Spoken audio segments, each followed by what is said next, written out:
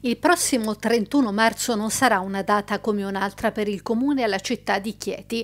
È corsa contro il tempo per evitare il dissesto con la conseguenza di un commissario che gestirà la normale amministrazione e affiancherà il sindaco e la concreta possibilità di un ulteriore aumento delle tasse già alte per i cittadini. Si viaggia su due fronti. I giudici dovranno decidere su teatri e servizi, la Corte dei Conti sul piano di riequilibrio del comune. Il sindaco sindaco Diego Ferrara è comunque fiducioso e dice abbiamo fatto tutto il possibile. I destini sia del comune che della società Teatri e Servizi eh, si incroceranno e eh, si eh, chiarificheranno a fine mese, il 31 marzo o poco più eh, di eh, questa data.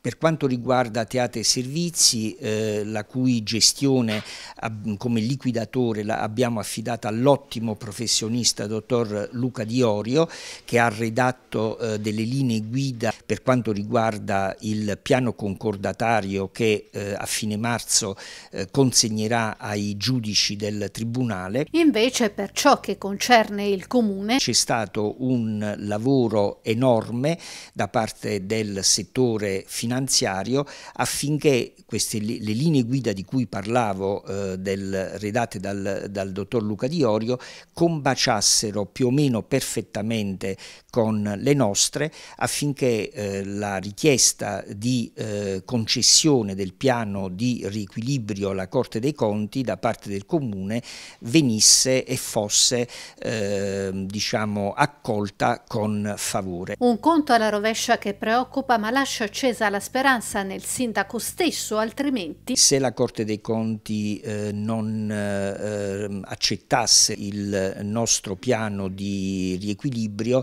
andremmo in default e eh, assisteremmo al dissesto eh, economico finanziario del comune con conseguenze abbastanza facilmente eh, diciamo deducibili eh, e prevedibili quali il commissariamento della stessa amministrazione eh, quindi le tasse portate al massimo e la gestione della sola amministrazione eh, ordinaria ordinaria. Una situazione finanziaria al comune di Chieti che si trascina da tempo? Se eh, la responsabilità di questa eh, situazione economica eh, viene da lontano, eh, mi avvalgo eh, della facoltà di non rispondere.